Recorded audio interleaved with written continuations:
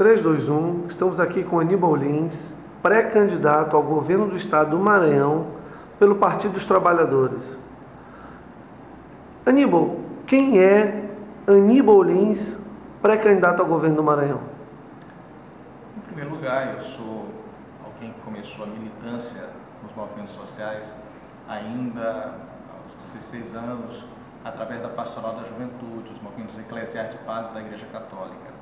Depois eu tive uma participação muito atuante no movimento secundarista em São Luís.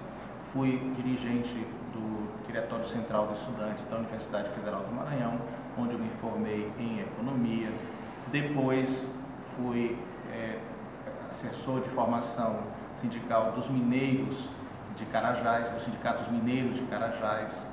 Fui também trabalhador do Sindicato dos Metroviários de São Paulo e fui professor e atualmente eu sou servidor concursado do Poder Judiciário do Estado do Maranhão há 17 anos e presido o Sindijus, que é o sindicato da categoria, o sindicato respeitado nacionalmente e em cuja gestão, em cuja atuação não há uma única mácula.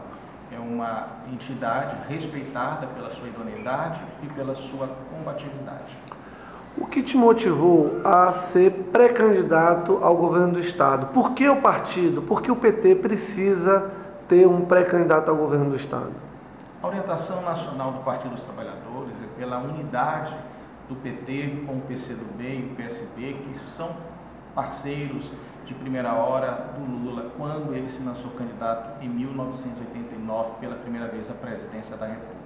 E nesse momento de gravíssima é, situação político, econômico no nosso país, é desejo do Lula, que é um preso político, que nós reptamos essa aliança com o PCdoB e o PSB. Todavia, nós, do Partido dos Trabalhadores do Maranhão, que temos uma resolução política de apoiar o governador Flávio Dino, que é o único governador do PCdoB no país, é, também decidimos pleitear a indicação de uma vaga na sua chapa majoritária, ou a indicação do vice-governador da chapa do Flávio, ou uma das duas vagas de Senado.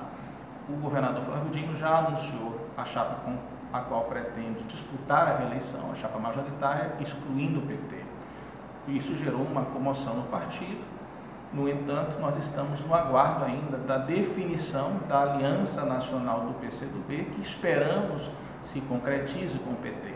Nós respeitamos a indicação da companheira Manuela Dávila, que é um quadro valoroso do PCdoB, uma deputada muito atuante, compromissada com os movimentos